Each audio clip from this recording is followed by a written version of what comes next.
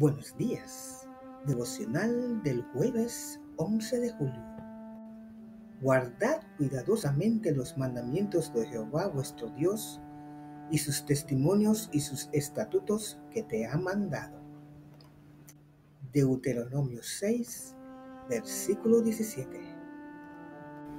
Bendito Padre Celestial, gracias por los dones recibidos y por iluminar nuestros días.